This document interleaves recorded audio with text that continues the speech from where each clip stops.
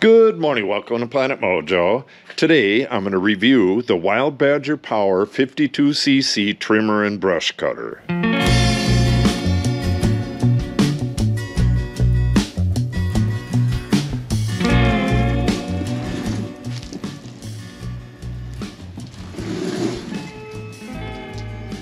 Okay, it says that it has a six year warranty which is pretty cool.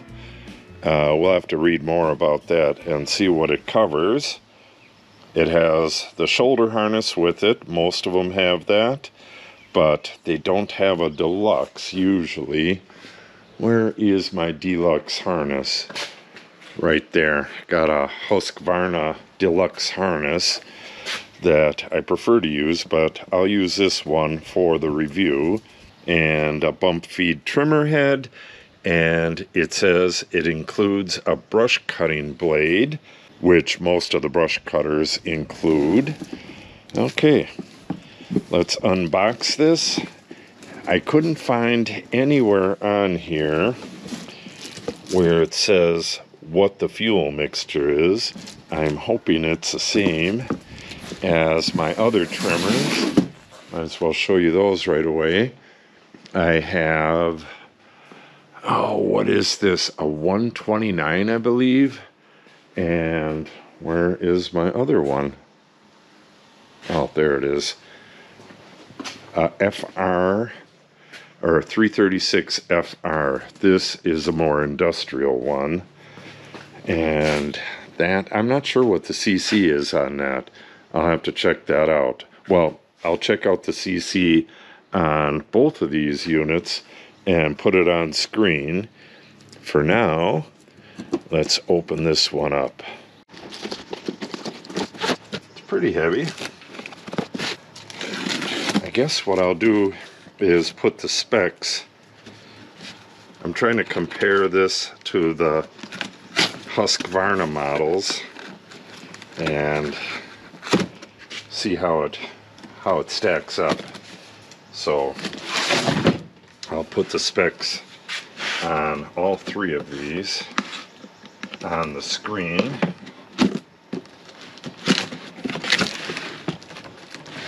All right. What is in the box? A half a handle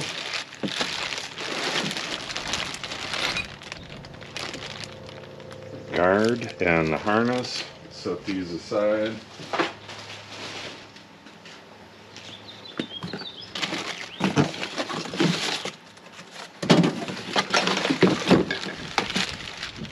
Okay, bottom half of the shaft.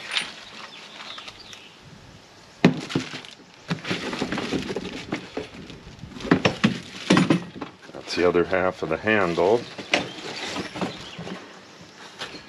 This stuff is just laying, laying loose in the box. Wow. Including a cap screw.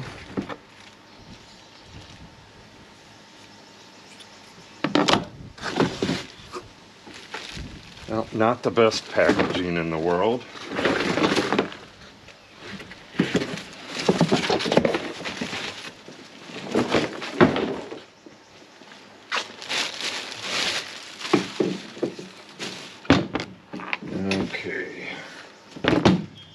Let me see if we have assembly instructions. I think I can get this together regardless, but we'll see if it has any. Okay. Harness, which I can tell right off the bat is incredibly flimsy. I'm gonna guess that you would be hurting for certain after a couple hours of trimming with this harness. I believe I have the stock harness that came with one of the Husqvarna models and I'll show the difference between the two. if I can find it. I believe I should be able to find it. There is no manual. Oh, maybe this is it. Yeah. Tiny, tiny manual, but it's a manual. And it says to call or check out their website, their email, and phone number.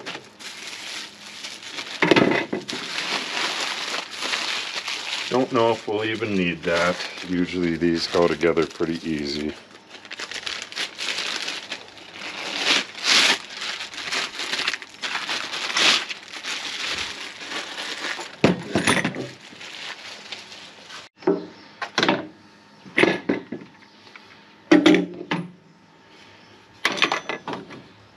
Okay, what to do first? Oh,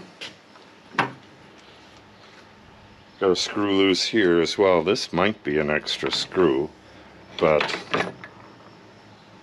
I don't know. I'll check all these to see if there's any missing. Just says Badger on it. WB52. I believe that's a, yeah, BCI.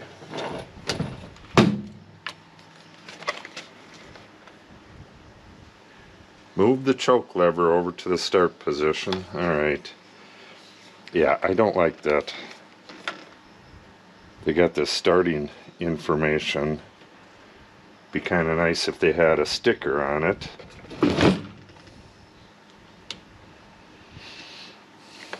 First impressions, everything seems a little flimsy. Well, quite flimsy.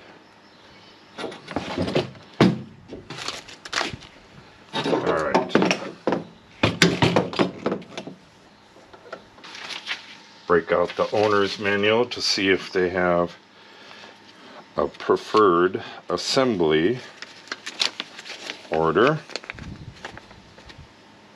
It's all very tiny. Okay, assembly. That's just what I was going to do. Okay, it shows you how to mount the rod.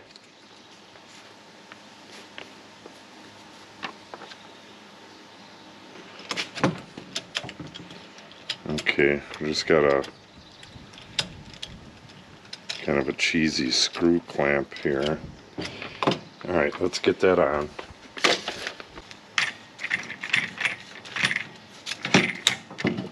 There it goes. Clicked into place. Tighten this up. Feels pretty sturdy. Assemble the handle to the machine. This doesn't have any like indents or anything like that.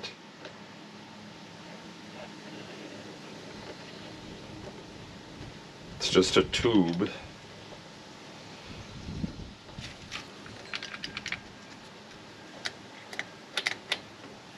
Yeah, everything feels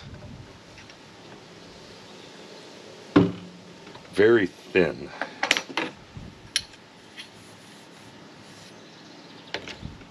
Which sometimes is not a bad thing, but I don't know.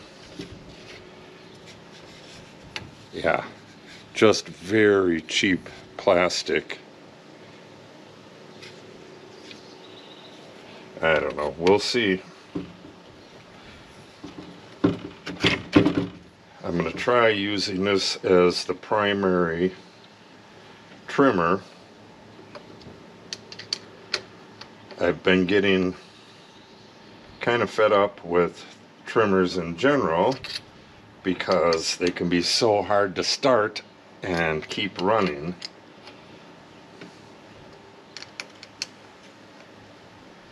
Always having problems with the Husqvarnas, getting them started and then keeping them running once they're started. I can generally get the majority of my trimming or all of my trimming done. And I think these zip ties are for that, but I'll wait on that. Let's see what else we got. Well, we got to get the bump head on.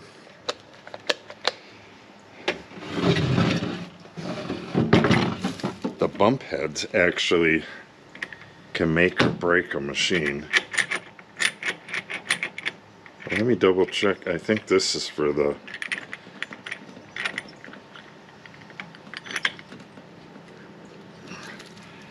take that off. I believe that this is for the grass blade. Yeah, it says to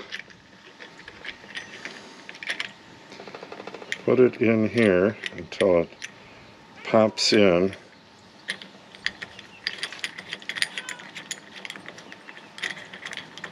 It doesn't feel like it's stopping it, but this is coming off.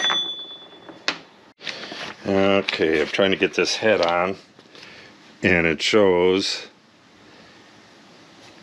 I don't know what the heck this is, number five, and there's no, there's no place you can look that up in here. I mean, you'd think it would be right on this page, but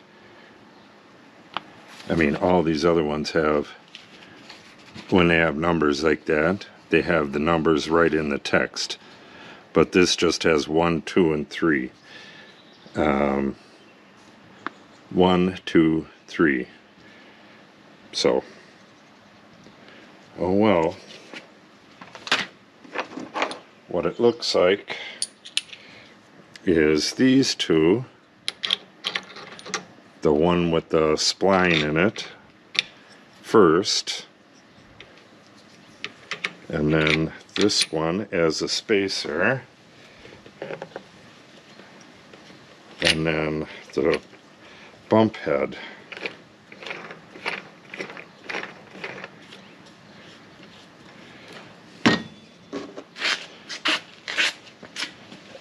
and then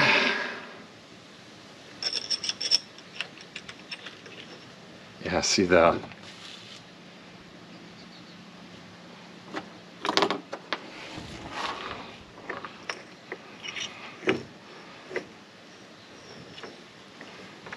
Uh, maybe that goes the other way around.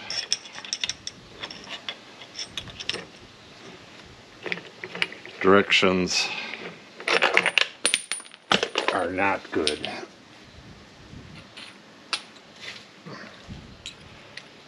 Okay, so if we put this this way, all right.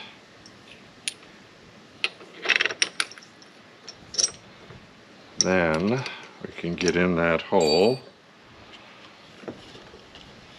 and like all other trimmers, it has left-hand thread. So you got to keep that in mind too.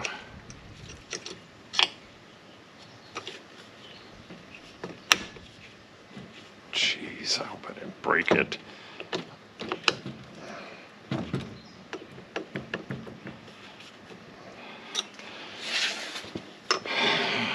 It seems to be like locked tight once you tighten it up and it should spin. the shaft is spinning.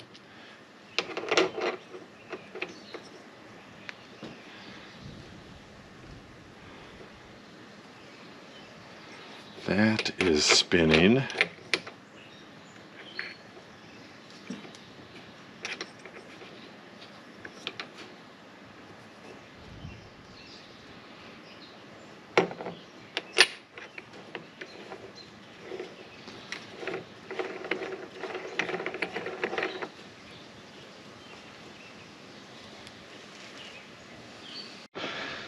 Slacking up again. I wonder if this 5 is the nut. But why the heck would the nut go on first? I don't know. What if you tighten this up, if you screw on the bump head, it like locks up. And they're showing three things going on there. These two are obvious. this one is going on like that. And then this one looks like it's going this way. Yeah, and that's, that's the way it wants to go. But there's something else, and this is the only other thing that's there. But if you put this on, yeah, that's not going to work. You got no access to the spline. I have no idea what this is supposed to be. Uh, I, uh, I really don't want to call these people. Hmm. So far, no good. Okay, show you what's going on here.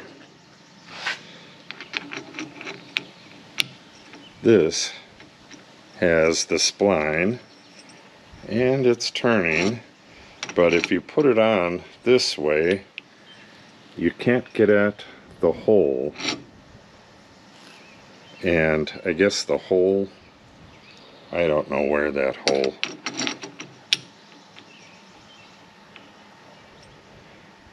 it's like the hole really doesn't do anything.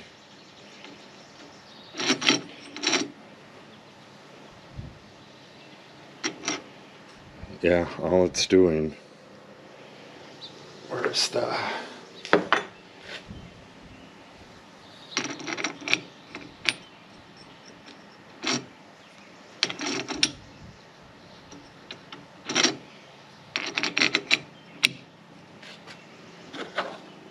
try it this way because you should be able to just put the bump head on. Oh yeah, you gotta stop the shaft from spinning.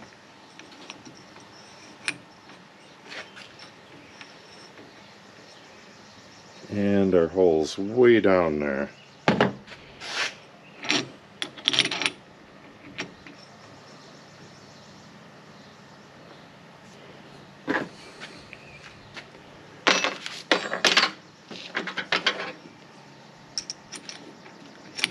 Yeah, on most of them, the hole is straight down. Yeah, there's no way to get anything in there. Unless you spin this around, then you can get something in there, but it doesn't go to anywhere. Why is that hole even there? Except, you know, to just hold it tight Now everything is spinning and it should spin with this on as well.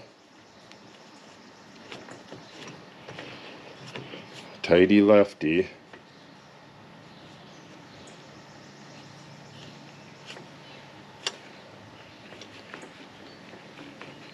Yeah, it just feels like it's locked. And that it's not going to spin. I don't see why that should be.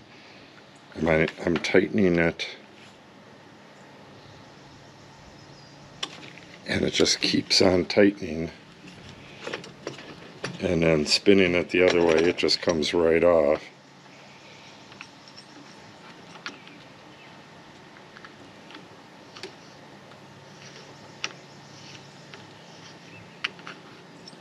All right.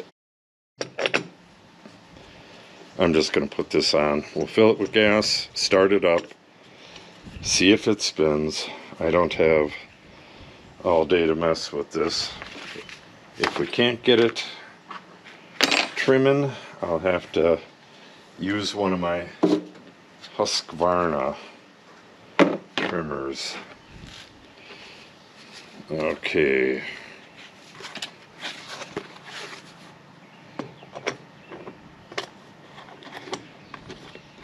I guess that uh, socket head cap screw that was floating around in the box is a spare.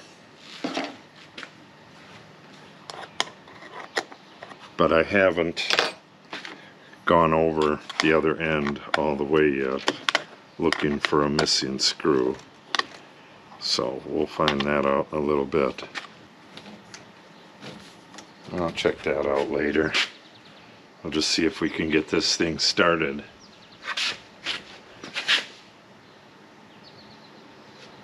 Well, it says it passed. It has, is this the, it has a little sign here that says to push the button or push the bulb. Oh, there's the bulb. It's up underneath here. Okay. Okay. The gas mixture is 50 to 1. Don't really like 50 to 1. I guess that's supposed to be for air pollution, but they use the oil for lubrication. This cap sucks. Real cheesy plastic. I hope this thing doesn't leak.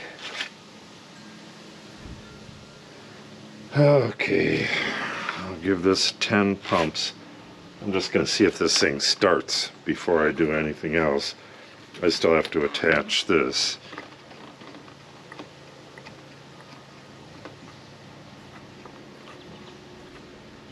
Okay, got the carb filled. Alright, we'll read their starting instructions. Choke lever to the start position.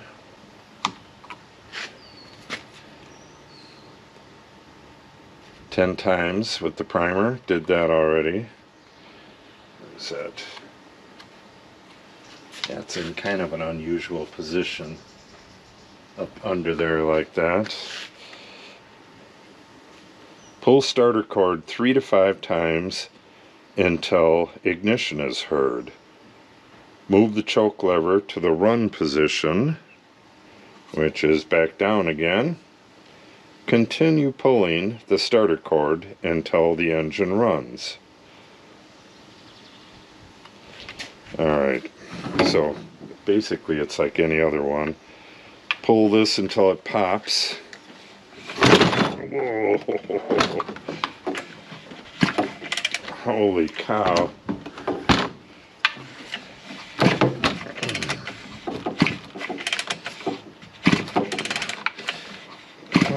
What heck?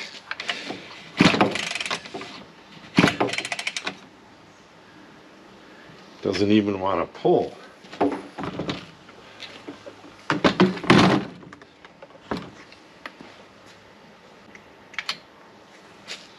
Oh, it's leaking. Where The hell's that coming from? Alright. This thing is leaking pretty bad.